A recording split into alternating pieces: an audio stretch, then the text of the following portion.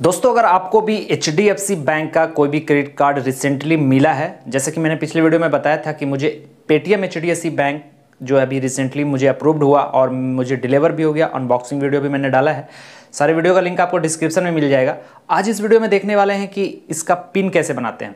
देखिए आरबीआई की तरफ़ से एक गाइडलाइन है कि अगर 37 डेज़ के अंदर अगर आप इसको एक्टिवेट नहीं करते हैं तो ये कार्ड जो है आपका ब्लॉक हो जाएगा मतलब ख़त्म हो जाएगा। तो उससे पहले आपको इसका कार्ड का पिन ऑनलाइन ट्रांजेक्शन और ट्रांजेक्शन वगैरह करना होगा।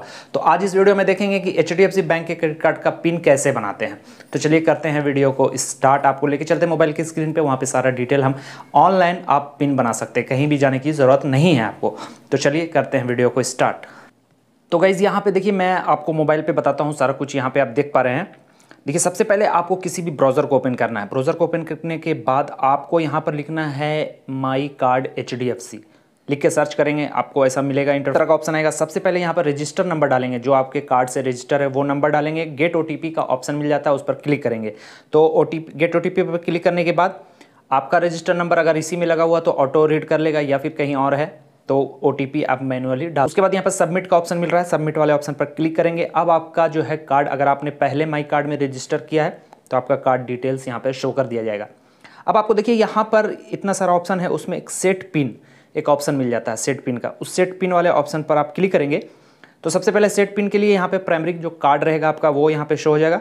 उसके बाद यहाँ पर आपको फोर डिजिट का पिन बनाने बोलेगा कि आप जो है फोर डिजिट का पिन डालिए। उसके बाद री इंटर पिन यहाँ पे है, फिर से वही पिन आप यहाँ पे डालेंगे। उसके बाद आपको अपने कार्ड का एक्सपायरी डेट और सी नंबर यहाँ पे डालना होगा। एक टर्म एंड कंडीशन होगा, उसको एक्सेप्ट करिएगा। एक्सेप्ट करने के बाद कंटिन्यू का ऑप्शन मिल जाता है कंटिन्यू वाले ऑप्शन पर क्लिक करिएगा।